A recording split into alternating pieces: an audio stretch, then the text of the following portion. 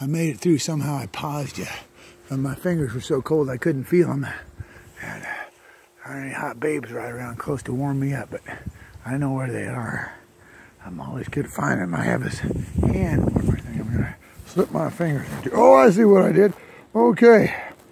All right. Wait 18 seconds to see this video. So far, you've just seen trees and stuff. Giovanni, Giovanni knows. This is the place where the wildness goes. Look at that. See, there's chunks of glacier that have washed up here. This lake was created maybe a day or two ago by uh, underground glacier structures. See these, these pathways here through the grass? That's a glacier runoff. And uh, I feel like my, my pistol's slipping, so I'm going to take a pause here for and make sure, because you don't want to lose your pistol out here. I'll tell you that. I lost mine last year. Had to get a metal detector to find it. Oh, okay, I'm back. Yeah, yeah. Uh, those damn poison dart trees. They missed me, but they hit the buckle on my belt and sheared it right off. Luckily, I did not get infected, so I'm not going to fall asleep out here like Rip Van Winkle did. If y'all don't know, that's what happened to him. He was wandering through Iowa, wandered into a grove of poison dart trees, got nailed, probably a dozen times, fell asleep for 100 years. Most all the stories, all the, all the fables and uh, all the old stories originate here in Iowa. Yeah, yeah. You know, that's just how it is. Everything starts here in Iowa, and everything always begins here. Start and begin and and there's never an end. So get in line, get behind, because I was always out front. We're up front, we're out front, we're all the way. Look at that.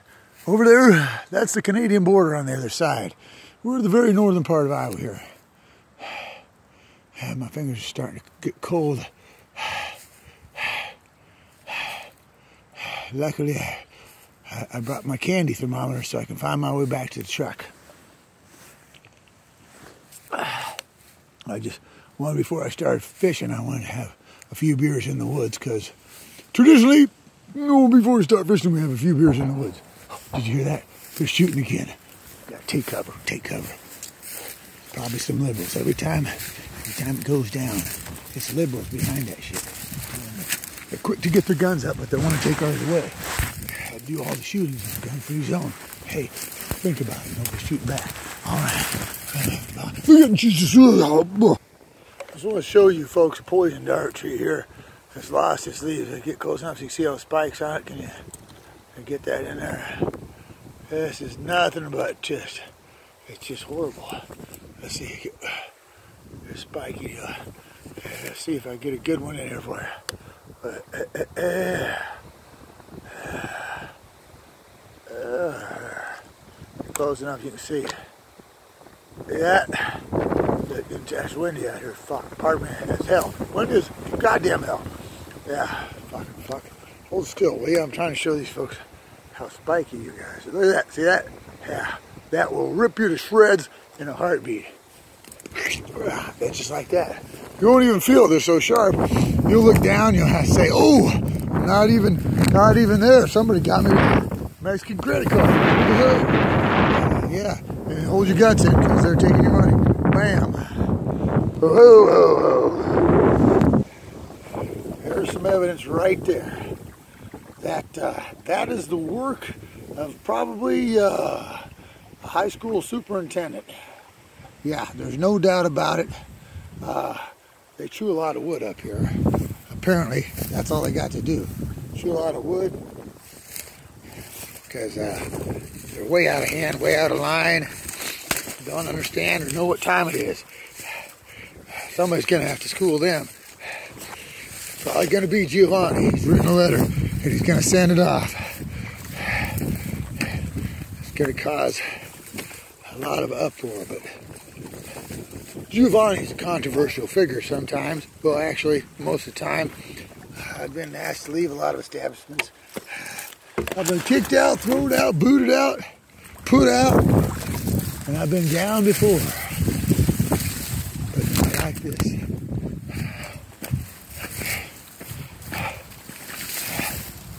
Made it back. I think I'm close. My can thermometer is showing that the temperature's almost perfect. which will mean that the truck is close by. I keep uh, the double boiler plugged into my cigarette lighter. I don't smoke cigarettes, but I do like to make candy when I'm out in the woods. And uh, my candy thermometer can sense that from up to maybe half a dozen miles or so. That'd be six in my book. Yeah, look, the hunting buddy, we're here. We're here, boys. We're here. It's getting better. Okay, okay. Are you with me again? My fingers got cold. Just takes a little bit of time out there, and your fingers will get cold. Ah, they're actually really cold. Ah, I'm gonna stick them in my double boiler here and get some hot chocolate on them, and that'll warm me right up. It's a little warm. It's kind of like fondue fingers, you know what I mean? You remember fondue pots, don't you? It was cheese and bread, cheese and bread, cheese and bread. Well, I think fingers and chocolate, fingers and chocolate, fingers and chocolate. Hey, hey, hey. It's all about being innovative. And if we are anything, we are innovative here in Iowa. Being a dense jungle, we always have to come up with new solutions on getting places. And uh, since we have no infrastructure, uh, we're all cool with it. Uh, we've got dirt roads, basically 99.9% of roads in our dirt, and uh, most places don't have telephones, uh, uh, but you can be sure they have an outhouse. If you don't know what an outhouse is, then uh, well, you're going to be in trouble if you come to Iowa because you're just going to be wondering what to do next. So I suggest don't drink the water and, and plan ahead. Uh, always have a plan. My plan always is to return home safely. And if I'm going to a foreign country, I learn the language and I, I learn how to say several things. Most importantly, I need another beer. Where's the bathroom? And uh, what about the babes? And so forth. But, uh, and that's just polite. That's polite. You you, whatever country you're in, you should speak their language. Uh, United States of America, being an English-speaking Christian nation, religious tolerant, of course, uh, is a great, great country, and uh, I appreciate all the visitors, uh, and I appreciate all the immigrants and immigrants, and uh, uh, but I'm like my ancestors, which were hardcore, hard-working German people, and they learned the English language because English is the language of the United States. You don't have to be a Christian. You don't have to be anything. We're religious tolerant. Our nation was formed by a bunch of white Christian and agnostic men. And uh, this is what we got. And they said, hey, man, mm, we don't want to be all fuddy-duddy. Let's mix it up a little bit. It's always more fun, because what about those babes? They're, you know, you never know, right? That's what I'm thinking, you know. Uh, check out uh, Benjamin Franklin, man. He was a way big partier. He was into it, man. He was. He had the juice, you know. Mm-hmm. yeah, they show him with bald head and everything. But, you know, he was having the maximum groovy deals at his house. All the babes were coming over and, and uh, partying, and, you know, since they didn't have swimming suits, it was skinny dipping. That's that's it. So he was thinking way ahead because we're just now getting back to that. Well, when I was youth, well, well, that's what we did. We said, hey, hey, you want to go swimming? Well, they didn't bring their swimming suit. Don't worry, you don't need a swimming suit. Well, I'll get close. Well, don't worry, I'll turn my back and forth. And there you have it. Nice tits, babe. Oh, pardon my language. I didn't say that. I, I appreciate. I just appreciate. I'm very appreciative. Nice, very nice. Good form, good form. And and ew, that was terrible belly flop, but uh, mm, we can put a tattoo over that red spot there. Okay, here we go. And uh, I'm just having a groovy day. Almost out of hand, but I, like I said, it's cold as hell. And Jesus and Louise's. Yeah. Get a little more hot chocolate on my fingers. Mm. Anyway,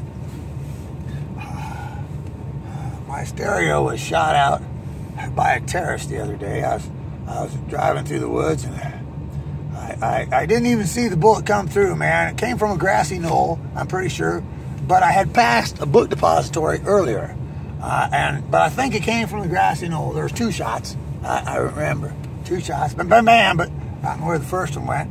Uh, I did lose part of an ear, but that was a long time ago. That was, and Grandma did that. A knife thrown in the carnival, you know. But uh, hit my stereo. It was a 223 from what I could see of, of the remnants. There's just small little bullet fragments, but I took them back to my laboratory and analyzed them. It's 223 caliber, and uh, yeah, probably shot through something like uh, a Mac 710, which is, is the elite form of uh, short close sniper rifle. That's for working within 10 to 15 feet. And uh, I, like I said, grassy knoll. I was kind of driving on the side of it. I heard somebody say, "Hey, get off my grassy knoll!" I'm gonna shoot. Uh. I said, "Hey, you're grassy knoll." Bam! And my stereo went. Yeah, I don't hold the grudge just forever. Yeah, that's just how it is. Like an elephant, you just gotta, gotta roll on, baby, roll on. Uh, but my mind is on the and getting old ain't for sissies. But I'm saying I'm not old. Exercise every day, eat right, and eat a lot of. Well, we just appreciate that, don't we? Okay, now, damn, damn, damn, bam, bam.